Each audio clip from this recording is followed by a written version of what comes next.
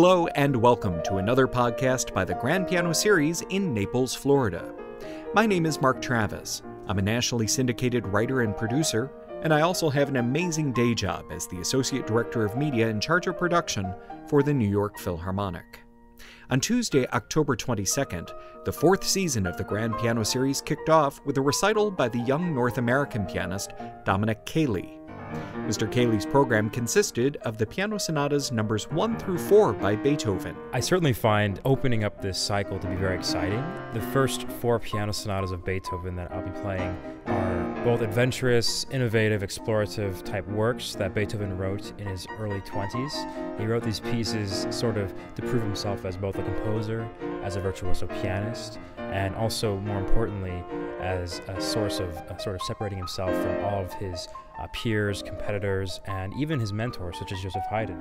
And over the course of the next two seasons, the Grand Piano Series will present all 32 of Beethoven's piano sonatas, and all will be performed and recorded on the signature instrument of this series, the 10 foot 2 inch Fazioli F308.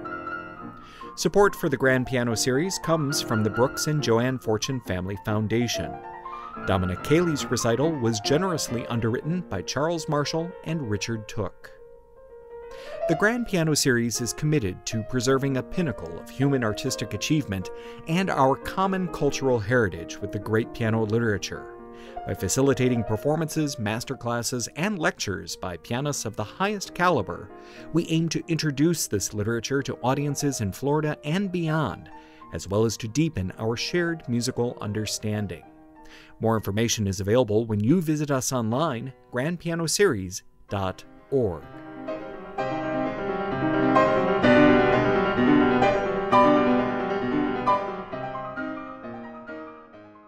These sonatas really have this sort of laboratory type feeling where there's test tubes everywhere. Where he's, experimenting with many different ideas. He experiments with silence quite a bit throughout these sonatas that he'll later use to great effect in his larger scale works in his late period. Beethoven's piano sonatas which were composed over a 27 year period of time represent one of the greatest achievements in the history of music the great pianist and conductor Hans von Bülow called them the New Testament of piano music, and the great Beethoven scholar Charles Rosen says that they, quote, bridge between the worlds of the salon and the concert hall. These works are also the closest thing we have to a constant throughout Beethoven's life, as they are part of his earliest successes as well as his late genius and legacy. Dominic Cheli's program consisted of the sonatas Opus 2, numbers 1 through 3, and the Grand Sonata, Opus 7. Well, the very first sonata in F minor, I actually, that was the first Beethoven sonata that I ever worked on. I worked on the first movement quite a bit when I was probably around the age of 11 or 12. I didn't particularly play it very well, but I could already tell that I loved the music. And I, I do remember playing uh, the F minor quite a bit. I auditioned with that particular piece for my first serious teacher named Zina Ilyashov in St. Louis. And we moved on from that sonata pretty quickly into other areas of music making, but that sonata always will have certain significance for me as being the first real Beethoven piece that I played for solo piano. The Opus 2 collection dates to a time when Beethoven was studying with Haydn. In fact, these works are dedicated to Haydn, but Beethoven doesn't acknowledge the older man as his teacher, as would have been customary at that time. In terms of structure, Beethoven breaks with tradition by adding a fourth movement to these pieces. He also indicates an unusual number of dynamic contrasts for the time and often extreme accents, sometimes on weak beats. The first sonata is sometimes called the Little Appassionata, probably because it shares the same key signature of F minor as the later work, but also because it's a quite ferocious piece. Dominic Cheli tells us more. Beethoven really took the harmonic spectrum that was presented by Haydn and Mozart, and he took it and he pushed the boundaries even further. There are dissonances, there are chords that at first glance when you hear them, they sound so so terribly modern, so terribly dissonant, but then one note sneaks in and then everything makes sense. And Beethoven loves to write things that on the surface appear quite ugly, but then one little note colors it in a way that there's a tension of not knowing where this chord's going to go and not, not knowing if the pianist played the right notes or not. But then that one note sneaks in and you're like, ah, he did play the right notes. And certainly Beethoven planned this from the beginning. This happens quite a bit in the F minor sonata. It's quite striking that Beethoven, in fact, chooses to write his first sonata in F minor because up until this time, you know, four flats in the key signature of F minor, that was considered to be not the kindest key. Beethoven had no interest in composing music for the casual pianist. He was trying to compose music that was uncompromisingly his own and his personality. And here's the final movement from the Piano Sonata Number 1 by Beethoven. Dominic Cheli performs on the Grand Piano Series.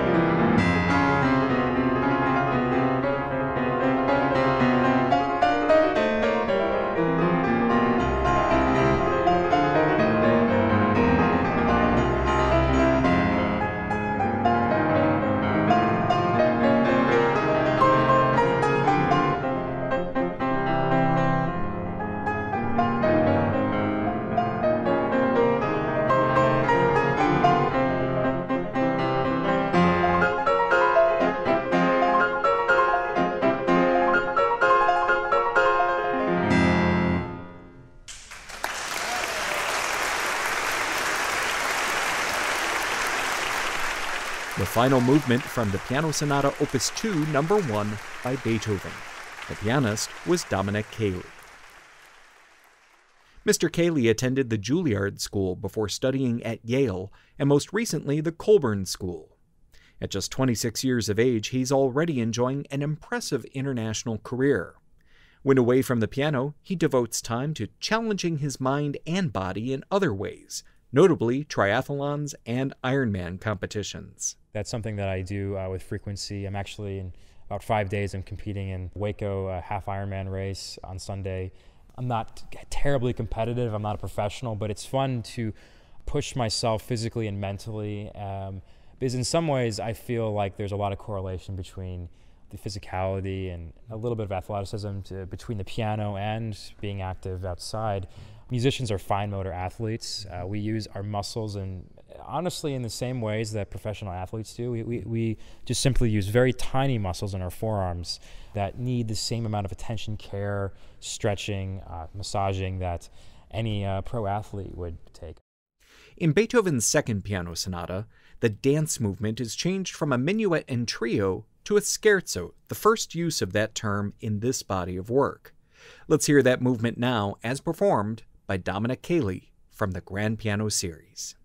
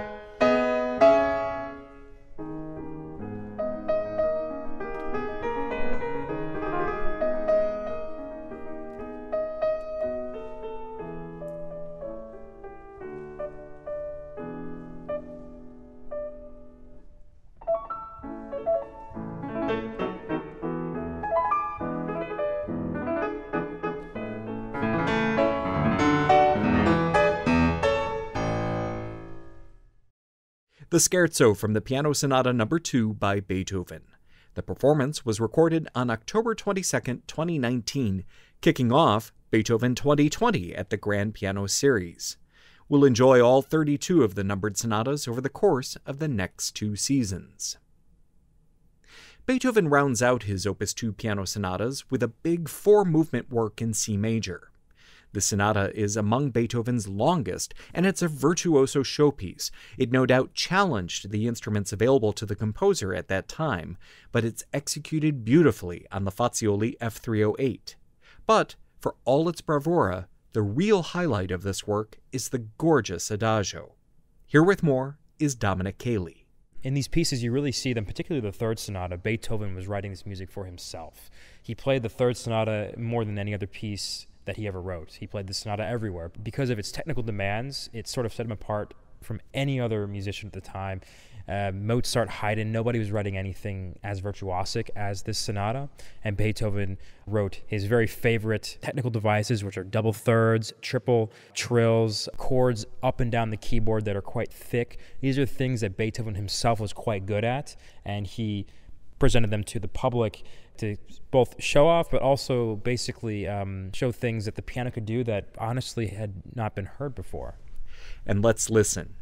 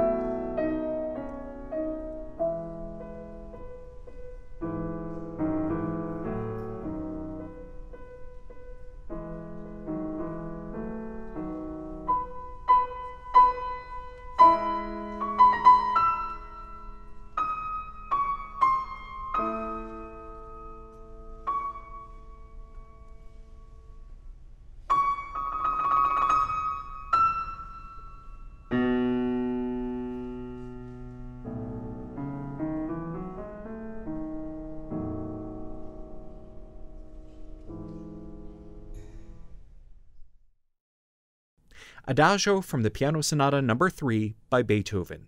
The pianist was Dominic Cheli, as recorded by yours truly for the Grand Piano Series in Naples, Florida.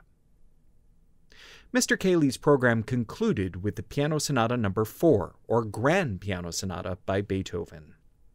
This piece was composed just a few years after the Opus 2 set. Beethoven was continuing to work and perform in Vienna at that time, and his star was rising. In addition to this piece, he also produced the Serenade for String Trio and a few other short works. We don't know much about what Beethoven did the rest of that year, but many surmise that he suffered a long period of illness and that it was about this time that his hearing began to diminish. The Grand Sonata is, as the name would imply, big and bold in every way. Once again, Dominic Cheli when you're playing this music, a lot of composers at the time would write pieces that the average listener could open up and kind of sight read at the piano. But Beethoven, again, he was writing music that demands a lot from the performer. And even from the first note to the first sonata, you feel like you're getting thrown into this uh, almost like a war of sorts, mm. where Beethoven is, is making his stand. And he is triumphant, certainly.